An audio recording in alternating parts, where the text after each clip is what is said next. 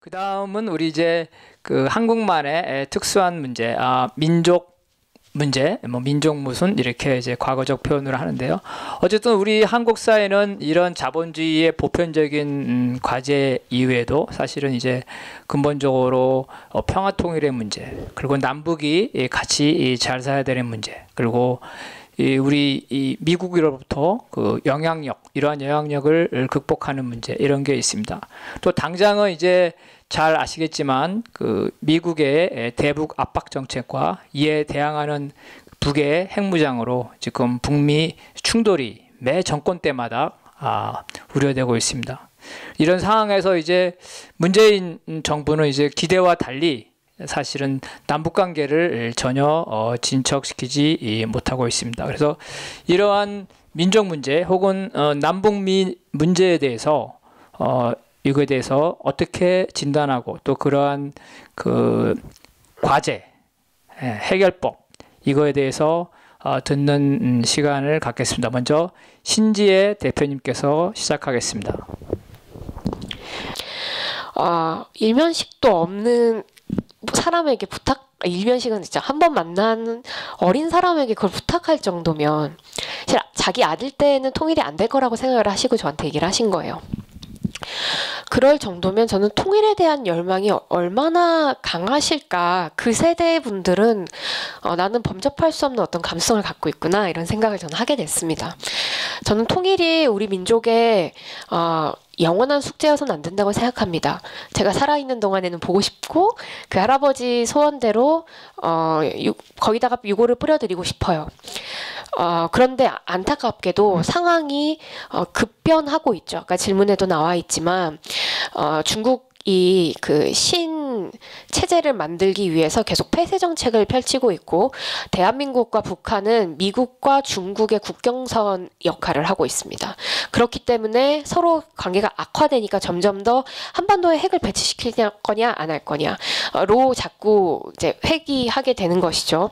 저는 여기에서 진보가 이야기해야 할 것은 어 대한민국에 있는 20대들부터 중장년층까지 다시 설득해내는 것이라고 생각합니다. 그게 방위비 의 문제로 저는 접근해서는 안 되고 다시 한번 어 우리의 소원 그러니까 어떤 감정적인 그 할아버지의 이야기들처럼 어 우리의 뿌리가 어디에서 시작됐는지 그리고 우리가 사실은 어떤 가족들이고 민족인지를 다시 한번 좀 이야기해야 될 필요가 있다고 생각하고요. 하지만 다른 한편으로 아까 제가 말씀드렸었던 것처럼 이성적인 그 우리가 어떻게 할 수 없는 외부의 상황들이 있기 때문에 어, 여기 안에서 어떻게 잘 조율을 해나갈 것인가. 그래서 단순히 대한민국이 어, 중간에 있는 내비게이터로서의 역할이 아니라 협상자가 아니라 어, 북한과 정말 터놓고 이야기할 수 있는 대상이라고 하는 것을 계속해서 확인해 주는 것이 필요하고 어, 불 이게 참 안타까운 상황이 펼쳐집니다만 햇빛 정책이라고 하는 것이 저는 그 아직까지도 유효한 정책이라고 저는 보고 있습니다. 네. 예, 이 굉장히 기대를 많이 모았었죠. 이번 그 2018년도부터 시작해서 어, 어, 남북 관계가 굉장히 좋아질 거라고 생각을 많이 했었고요. 저 2000년도에 그때도 생각이 많이 나는데 그때 김대중 대통령이 예, 올라가서 김정일 어, 위원장을 만났을 때 저는 진짜 몇 년 후면은 기차 여행 할 수 있을 줄 알았어요. 바로 올라갈 거라고 생각을 할 수 했었는데 그래서 막 계획도 짜보고 그랬었는데 아, 지금 아직까지 에, 멈춰 있고 어, 남북 관계는 지금 더 좋아지지 않, 그때보다 지금 사실 2000년대 초기보다 더 나빠진 것 같습니다. 근데 어떻게 보면 사실 굉장히 지금 좋은 기회거든요. 어, 지금 미중 갈등 속에서 그 한국도 이제 한국 자체 국가 위상도 지금 굉장히 높아진 상태고 미중 관계에 있어서 남한을 눈치를 볼 수밖에 없는 구조이기도 하고요. 사실 지금 북한이 저렇게 어려우면서도 뒷심이 있는 게 중국이 자기들을 버릴 수가 없는 구조가 지금 미중 갈등 때문에 오히려 더 말 만들어진 겁니다. 그래서 지금 그거를 10분 이용해 가지고 중국 북한은 지금 여러 가지 오히려 계산을 외교적으로 하고 있는 것 같아요. 미국한테도 뭐 아주 당당하게 얘기하기도 하고 안 되면 또 뒷배가 있을 수도 있고 또 중국에서도 어 북한을 신경 쓸 수밖에 없겠지만 우리나라는 왜 그렇게 못하느냐 좀 많이 답답한 거죠. 오히려 적극적으로 남북 평화를 만들어내기 위해서 어 오히려 미국한테 충분히 지금 크게 세게 소리 지를 수도 있는 구조 속에서 어떻게 보면 굉장히 역대 일의 우리나라 국력이 에, 대한민국 창건 이래 지금 가장 강한 시기인데 왜 그걸 못 하고 있느냐 굉장히 안타까운 부분인데 그게 그 부분에 있어서 보면은 오히려 미국 눈치도 미국 눈치고 어 여론 눈치도 좀 보는 것 같습니다. 근데 분명히 지금 여론이 이제 그 아까 이제 통일에 대한 국민의 여론이 근데 사실은 최근에 어 그냥 통일 안 해도 된다. 그냥 평화 체제만 구축하면 된다라고 하는 여론들이 굉장히 높아지고 있거든요. 과반수가 이상이 올라갔고 어 특히 뭐 20, 30대 같은 경우 60% 70% 이상이 굳이 통일이 필요하냐 이런 좀 세대적인 차이도 있거든요. 근데 그거를 이제 보수 진영 쪽에서는 적극적으로 이용을 하면서 통일 필요 없다. 그리고 뭐 남북 갈등 뭐 우리가 굳이 같이 해야 되느냐 이런 식으로 이용을 하고 있는데 여기에 대해서 제대로 지금 대응을 못 하고 있는 것 같아요. 그 진보가 적극적으로 대응을 해야 되는 거는 우리가 적극적으로 평화를 만들어가고 어 구- 통일은 전 장기적으로 좀 둘 수 있다고 생각합니다. 우리가 실제로 왔다 갔다 하고 평화 체제가 구축이 되고 아까 말씀하신 것처럼 유해를 또 돌아가시면은 북에 가서 묻을 수도 있는 거잖아요. 그 충분히 통일이 되지 않더라도 가능한 일들을 우리가 지금 우리 스스로 해나가자라고 하는 측면이 중요한 것 같고요. 할 수 있는 게 많이 있습니다. 굳이 미국하고의 눈치를 보지 않더라도 그래서 저는 이제 헌법 3조 개정을 어, 지난번 얘기를 했던 거는 실제로 국가 체제 자체를 북한을 국가로 인정을 하고 북한도 남한을 국가로 인정을 해서 국가 대 국가로서 수교를 하고 거기서부터 정상적인 외교 국가부터 시작을 했을 때 오히려 빨리 통일이 올 수 있지 않, 있을 것이다라고 생각을 하고요. 또 뭐 군축이라든가 이런 것들은 예산 문제지 않습니까? 어, 이런 것들 충분히 또 국회에서도 할 수 있는 겁니다. 이거 미국의 눈치를 볼 수 있는 볼 필요가 없는 국방비 삭감 같은 거는 국회에서 할 수 있는 거예요, 그냥. 외교적인 문제가 아닙니다. 그런 것들부터 시작해서 우리 국내에서 할 수 있는 것들을 해나가면서 어, 평화를 만들어 가자라고 저는 생각을 하고요. 어, 더 좀 용단일 어, 정부에서 좀 내렸으면 하는데 지금 또 임기 말이라고 또 여러 가지 어, 또 거꾸로 된 공격을 할 수 하고 있는 것 같아요. 정말 전 진정성을 가지고 했으면 좋겠습니다. 눈치 보지 않는 정말 외교 그리고 어, 남북 관계를 만들어 나가기를 바랍니다. 네, 우리 예, 저 진짜 저도 많이 안타까운데요. 이게 잘4.27 선언 이후로 잘 안 된 것도 안타까운데 정말 안타까운 것은 6.15 때 2000년 6.15 때 사람들이 되게 많은 기대를 했었잖아요. 평화가 될 거다. 근데 그러고선 그 기대 심리가 꺾이고 어, 굉장히 오랜만에 이제 국민들이 이 지지를 모아줬는데 어, 이제는 국민들이 약간 이런 문제에서 체념하게 된 게 아닐까? 이런 게 약간 되게 아쉽, 아쉽게 생각이 되고요.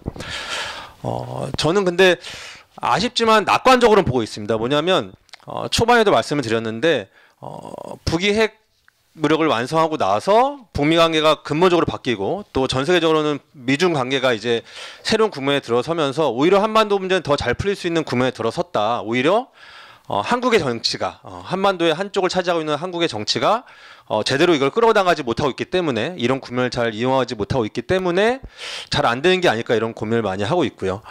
어, 예전에도 보면은 1960년대 70년대에 중국이 이제 핵 무력을 완성하고 어, 닉슨이 이제 중국에 방문을 하잖아요. 그걸 통해서 이제 미중 관계가 정상화되고 어, 대만에 있는 어, 대만 미군도 철수를 하고 이런 과정이 한 7년 정도 걸렸는데 어, 저는 이제 종전협정, 종전선언이나 평화 평화협정이 어, 법칙적으로 될 수밖에 없다고 보는데 다만 이제 이거의 시간적 속도는 어, 한국 사회에서의 평화의 에너지가 얼마나 많이 쌓이느냐 어, 거기에 어, 진보 정치 세력이 한국의 정치가 얼마나 많이 어, 힘을 모으냐에 따라서 속도가 달려 있다. 거기에 좀 진보 어, 정치 세력들과 어, 평화 애호 세력들이 많이 힘을 모으고 에너지를 모았으면 좋겠다. 예, 이런 말씀드리겠습니다. 네, 예, 한국 인민들한테 그 남북 관계 특히 우리 남측 당사자들이 양측의 소년이 되는 이유가 있습니다. 그리고 아, 북한 지도층한테 남한 정권들이 양측의 손이 되는 이유가 있습니다. 왜? 정권 교체를 해야 됩니다. 몇 년 지나면 계속 정권 기조가 바뀝니다. 이 문제가 계속 반복될 것이기 때문에 북한은 한국을 계속 당사자로 보지 않을 겁니다. 대상으로. 그러면 우리가 여기서 할 수 있는 방법은 뭐냐? 보통 좀 작은 조직으로 좀 축소했을 때 이런 문제가 반복될 때 우리가 만드는 것이 아, 강령이죠. 말씀하신 헌법 지적 강- 잘하신 겁니다. 그래서 전 사회적 합의를 통해서 아, 평화, 통일, 중립국 이 정도의 큰 주제를 설득한 사회적 대토론이 장이 펼쳐지겠죠 아마 쉽진 않겠지만 그렇게 강령이 될 수 있는 헌법을 개정함으로써 정권이 바뀌어도 남한 정권은 그리고 남한 인민들은 그 길로 계속 가야 된다라는 지향점을 밝혀주는 게 중요하다 저는 생각하고요. 조금 더 작은 이야기. 아, DP가 되게 그 히트했잖아요. 그걸 보면서 많이 느낍니다. 와, 저놈의 군대를 가야 되냐? 내 자식 보내야 되냐?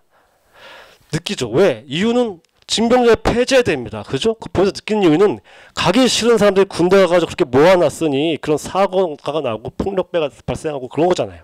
징병제를 폐지해야 됩니다. 징병제 어떻게 폐지할 수 있을까요? 물어봐요, 청년 여러분.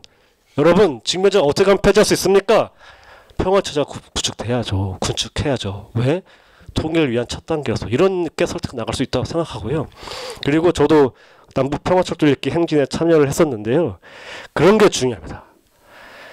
부실 수 없는 그 길들 만들어 놓는 거. 철도 읽기 매우 중요하다고 생각하고요. 이렇게 눈에 보이는 눈에 보이는 사업들을 하나하나 좀 채워 나가는 것. 그리고 의식을 조금씩 바꿔 나가는 것. 그리고 큰 틀에서는 헌법 개정 얘기하는 거. 이런 것이 같이 가면 양측의 소녀는 더 이상 나타나지 않을 것 같기도 합니다. 네. 그러면 요번에도 어 제가 좀 까다로운 질문을 한번 드리겠습니다. 그 아, 김대중 대통령께서는 그 미국에 망명을 하면서 미국의 정치 지도자들과 매우 친하면서 신뢰 관계를 얻고 해서 햇빛 정책을 통해서 6.15 공동선언을 했습니다. 우리 노무현 대통령께서는 또 14 아, 선언을 이끌어냈고요. 문재인 대통령도 사실은 이제 이 여러 차례 정상회담을 했습니다. 그런데 그 내용을 보게 되면은 항상 그 미국 미국의 입장에서 어, 미국의 허락을 받지 않으면 한 발자국도 나갈 수 없습니다. 그래서 제가 어, 드리는 질문은 이겁니다.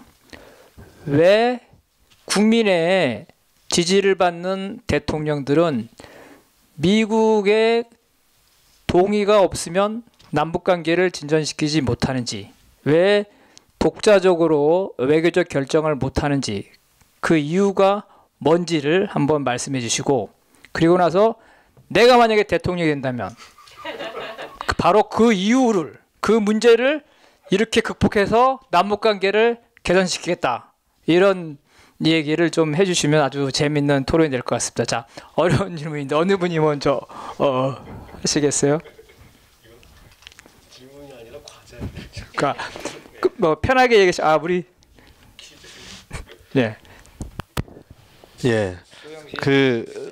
노무현 대통령이 네. 굉장히 유명한 그 연설 중에 어막 그동안 뭐 우리나 우리 민족이 이렇게 살아왔다라고 하면서 모난돌이 정 맞는다 앞에 서지 마라 이런 얘기 이렇게 쭉 하시면서 이제 그런 사회를 바꾸겠다고 했던 연설이 있는데 어 그 연설대로 하자면 그런 거예요 대부분의 사람들이 어큰 도로 앞에 가지 마라. 가면 네가 깨진다. 그, 런 이제 사대 의식이 우리나라 사람들 머릿속에 다 들어 있다. 어, 그 안에서 정치를 할 수밖에 없고 그걸 이제 노무현 대통령이 깨겠다고 했는데 본인도 사실 깨진 못했죠. 한미동맹의 틀을 넘어섰기 넘어서지 못했기 때문에. 그래서 저는 문- 문재인 대통령이 당선됐을 때 수많은 사람들이 아 착한 사람, 좋은 사람 이런 이미지를 갖고서 이제 기대를 줬는데 사실 어, 그 이후로도 한미 워킹 그룹이나 이런 것도 그렇고 어, 미국과의 틀 안에서 할 수밖에 없다라는 생각이 아예 박혀 있는 것 같아요. 그게 뭐 현실주의적인 말씀일 수도 있, 있겠지만, 근데 아까 이제 환순식 위원장님께서 말씀하셨듯이 지금이야말로 그걸 벗어 던질 수 있는 어, 이 한반도의 지정학적 위치를 활용해서 그걸 벗어날 수 던질 수 있는 때인데 던지지 못한 게 되게 아쉽고 어, 제가 대통령이 된다면 예, 그런 지정학적 위치와 역관계를 충분히 활용하겠다. 근데 활용할 수 있는 동력은 어, 한반도의 평화와 통일의 힘이다. 그게 동력이 되어야 어, 미중 관계를 활용할 수 있는 힘이 되는 것이지 그게 없이 그냥 어, 할 수 있는 것은 아닌 것 같다. 어, 그런 점에서 지금 문재인 정권의 움직임도 앞뒤가 바뀐 예, 남북 정책이 아닐까 생각해 봅니다. 예. 네. 과거에 노무현 대통령이 이제 동북아 균형자론이라는 걸 말했었죠. 그다음에 이제 현재 문재인 대통령은 운전수, 운전수 이런 얘기를 얘기했었는데 아 실제로는 사실 이제 그건 공연불에 사실은 그쳤어요. 그러니까 미국과 아 북한을 연결시켜 주는 것까지는 할 수 있지만 자기 힘으로 독자적으로 할 수 있는 거는 별로 없었는데요. 자, 이 주제에 대해서 또 얘기 야 우리 신재 대표님.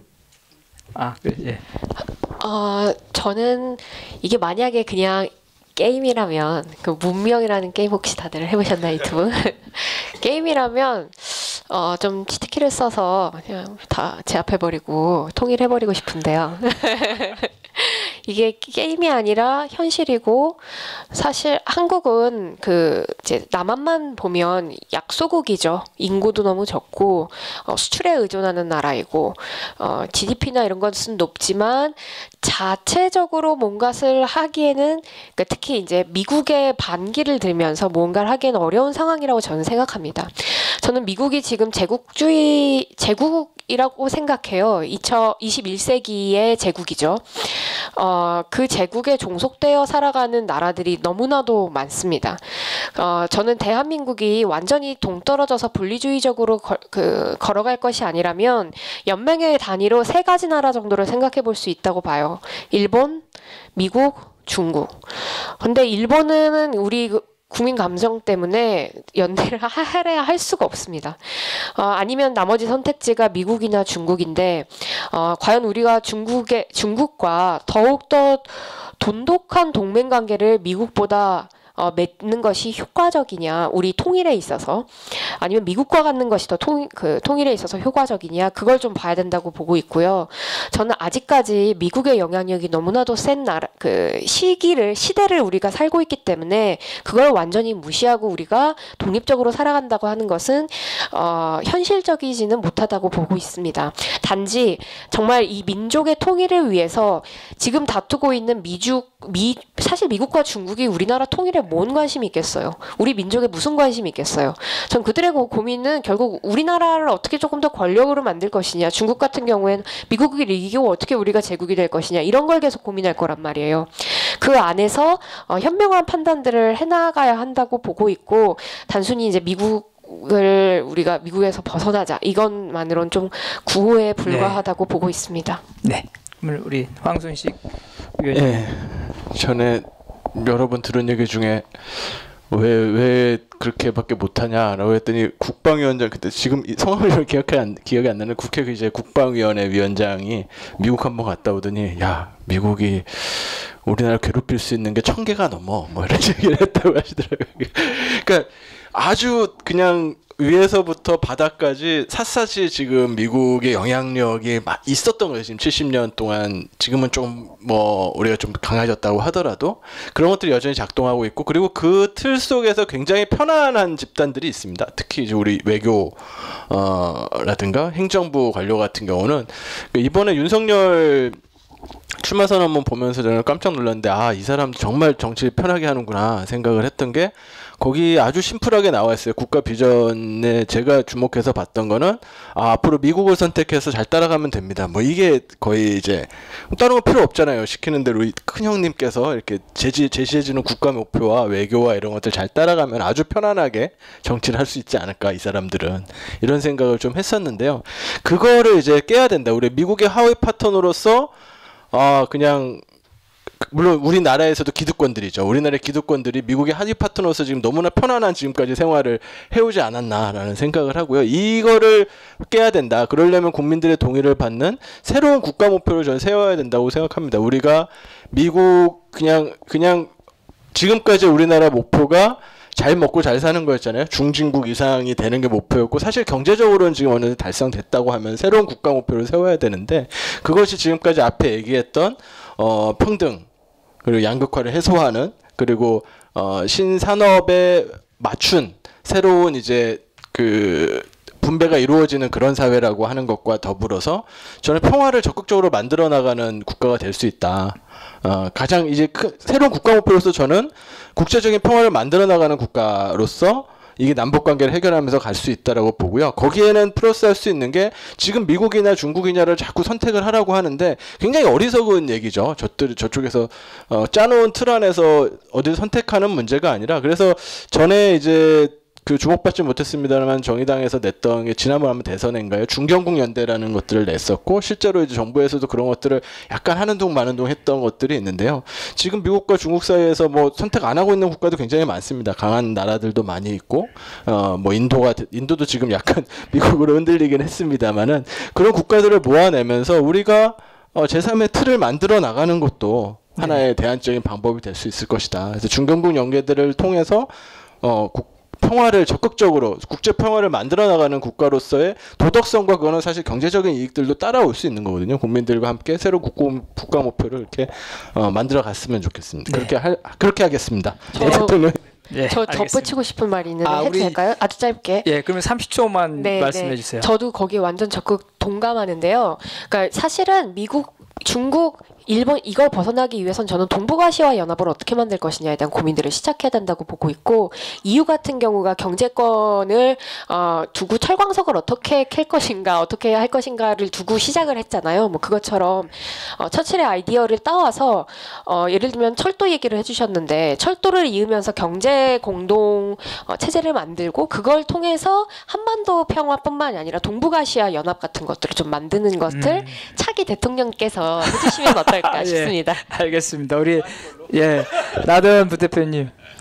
예, 역사적으로는 한국 전쟁 이후 그리고 그 미소 냉전 체제 해체 이후로 미국의 태평양 전략이 쫙 세워져 있고 또 중국의 그, 그 자강 그다음에 확장 전략이 쫙이 만나는 선이 이제 대만 한국 이 라인이기 때문에 사실 우리가 외교적으로 이걸 어떻게 개입해서 해결하기는 어려운 상태인 건 인정해야 됩니다.